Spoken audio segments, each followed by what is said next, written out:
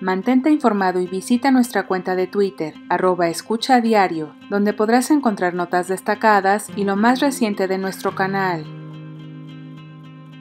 Reporte COVID-19 y vacunación. Conforme al reporte de la Secretaría de Salud, al corte de la información, se han registrado 16.133 nuevos casos de COVID-19 en todo el país y a nivel nacional hay 91.559 casos activos, 11.403 casos más.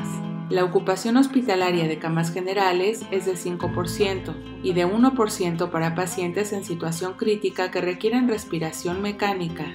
En cuanto a la vacunación en México en todo el país, hay un total de 209.179.257 dosis aplicadas.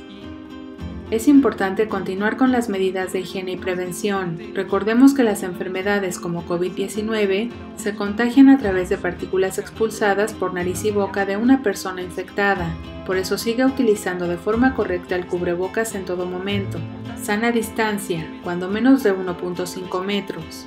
Lavado frecuente de manos con agua y jabón o aplicación de alcohol gel al 70% las veces que sea necesario ventilación en espacios cerrados, mantener precauciones en espacios públicos, así como el saludo a distancia, no saludar de beso, de mano o de abrazo. Seguiremos informando.